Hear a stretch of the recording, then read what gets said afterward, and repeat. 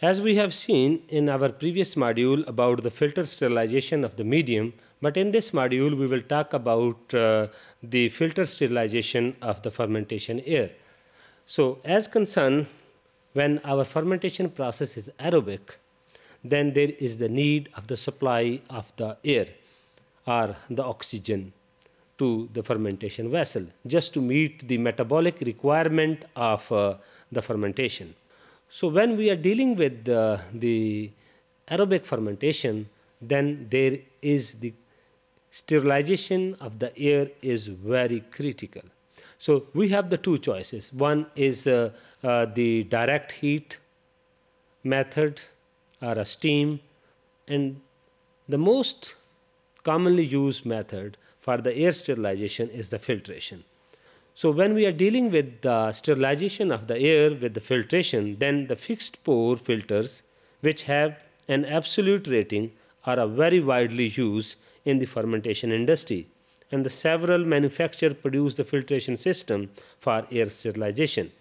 So these systems, like those of the sterilization of the liquid, consist of pleated membrane cartridge designed to be accommodated in stainless steel modules. So the most common construction material used for the pleated membrane for air sterilization is the polytetrafluoroethylene, commonly known as PTFE. So polytetrafluoroethylene, which is the hydrophobic and is therefore resistant to the wetting. So because this having the hydrophobic in nature, then there is uh, the resistant to the wetting. So the filter will not be wetted. So as uh, also the PTFE filters may be steam sterilized because if we have to use those filters, we have to first steam sterilize just to ensure that the filter should be free from that. So are resistant to ammonia, which may be injected into the air stream prior to the filter for pH control. Sometimes we have to control the pH.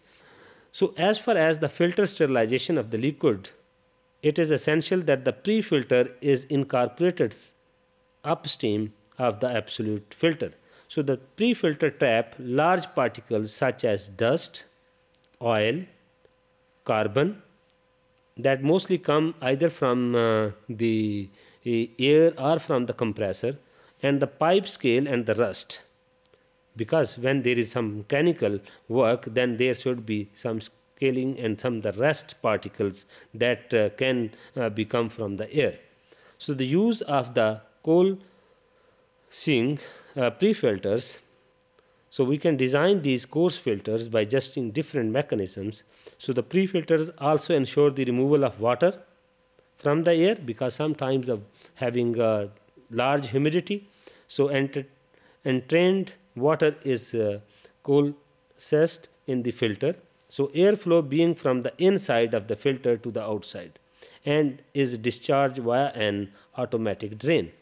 So if we have the filtration and then the removal of the water molecules, then that should be, so if you see that in our previous, so if it is the filter, so then the whole water is condensed down and that be removed by the discharge.